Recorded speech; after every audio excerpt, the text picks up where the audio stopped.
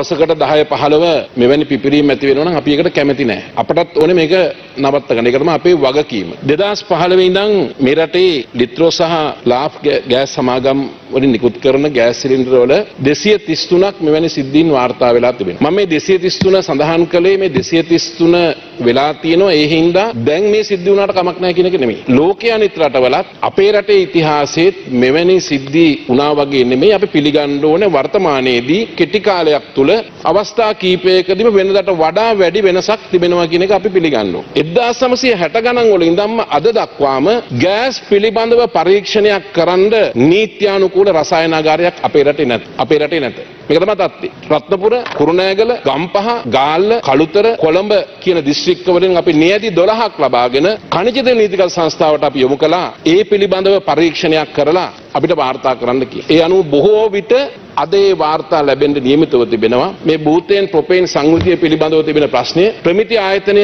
සකස් කරන ලද ප්‍රමිතීන් වල මේ සංයුතිය පිළිබඳව නැහැ. ඒ වගේම ප්‍රමිති ආයතනය සඳහන් කරන එක අපේ රටේ වරදක් නෙමෙයි. ජාත්‍යන්තරව ලෝකේ රටවල මේ ප්‍රොපේන් බූතේන් භාවිතය පිළිබඳව ප්‍රතිශතය පිළිබඳව ප්‍රමිතිය නැහැ කියන එකයි. ඉතින් ඒක අපට කියන්න පුළුවන් කමක් නැහැ. මේ ආයතන සහ විශේෂඥයින් කියන එක තමයි ගෑස් නියාමනය පිළිබඳව රාජ්‍ය ආයතන විදිහට නිසි නියාමනයක් සිදු නොවෙලා තිබෙනවා කියන එක අපි නිහතමානීව අපි සියලුම දෙනාම ඒ වගකීම බාර ගන්න ඕනේ. ගරු කතානායකතුමනි ඔබතුමා දන්නවා මේක ඊටාම මේ මේ අද වෙනකොට කාලීන ප්‍රශ්නයක්.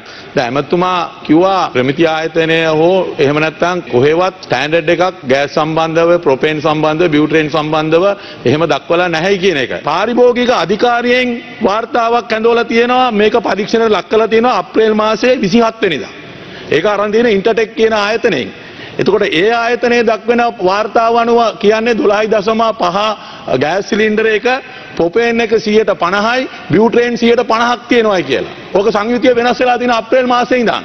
එතකොට දැන් මේ පැත්තෙන් පාරිභෝගික අධිකාරිය කියනවා මේ 120යි 80යි තියෙන්නේ කියලා. ලිට්‍රෝ ගෑස් එක කියනවා 180යි 20යි කියලා. ඊළඟට පාරිභෝගික අධිකාරිය පරීක්ෂණ ලක් කරාම කියන්නේ 50ට 50 තියෙනවා කියලා. ඉතින් ඇමතිතුමා කියනවා මේ ස්ටෑන්ඩඩ් එකක් නම් කරලා නැහැ කියලා. ගරු කතානායකතුමනි මේක බරපතල ප්‍රශ්නයක්. මේක පැහැදිලිවම මේකේ සංයුතිය වෙනස් කරලා තියෙනවා. මම කියන අපරාධ පරීක්ෂණ දෙපාර්තමේන්තුවට වහාම ওই සියලු දෙනාම අත්අඩංගුවට ගන්න ඕනේ. මොකද මොවුන් කරන්නේ මේ රටේ ජනතාවගේ ජීවිතයත් එක්ක සෙල්ලම් කරන කතානායකතුමනි. හරි බොහොම ස්තුතියි ඇමතුමා. හරි හරි බොහොම ස්තුතියි. ඔව් ඇමතුමා ඔකට විවාදයක් යන්න අවශ්‍ය නැහැ. කතානායකතුමනි ඒ විවාද මම කාර්මික ඉල්ලීමක් කරන්නේ. ඇත්ත වශයෙන්ම මේ මේ පිළිබඳව අපි කතා කරන්න ඕනේ. දැන් මෙතුමා කතා කරපු එක මෙතුමා අවබෝධයක් නැතුව කතා කරලා දැන් මට පොඩ්ඩක් වෙලා නෑ හරි කලබල වෙන්න එපා. මන්ති මන්තිතුමා පොඩ්ඩක් කලබල වෙන්න එපා පොඩ්ඩක් ඉන්නකෝ. ඔය ලියුම ලියු- ලියුම පොඩ්ඩක් ඉන්න. වෙනම ලියුම කියන්නකෝ. ලියුම වෙනම විවාදයක් ගනිමු. කවුද ලියුම අස්සම් කරලා තියෙන්නේ? කවුද කවද්ද වෙලා තියෙන්නේ? හරි.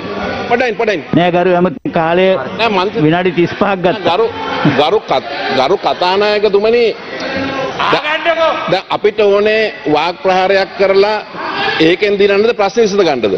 ප්‍රශ්න විසඳ ගමු අපි. ප්‍රශ්න විසඳ ගන්න අපි සූදානම්. ඔව්.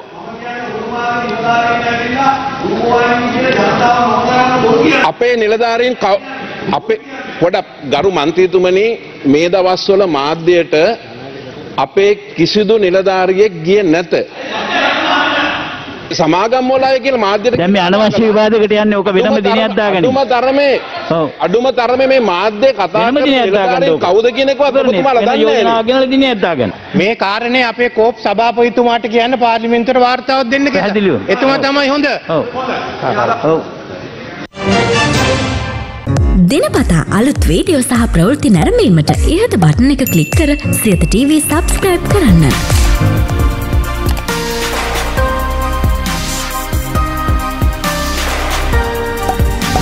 වීඩියෝ ගැන මුලින්ම දැනගන්න මෙම සීනුව ක්ලික් කරන්න.